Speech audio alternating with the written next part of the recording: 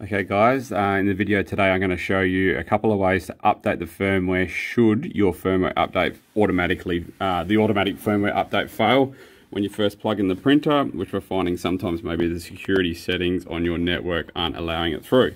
So there's two ways to do it. You can um, Google the Method X firmware update, the latest one, download the zip file. Um, you can then go into your MakerBot print program um, select the printer that you're talking about, which is the Method X. Click down here um, under Utilities in the corner there. Uh, scroll down a little bit till you get the firmware update, which is here. Click firmware update. Um, what you want to do now is click the browse button, uh, browse for the uh, zip file that you just downloaded, and you'll see that it comes up here method for version 1.81 447 is available. Click on update and away it'll go. It'll update the machine. The second method is to copy that zip file onto uh, a USB key. Um, come to the printer itself and go to settings. Um, scroll down to software update.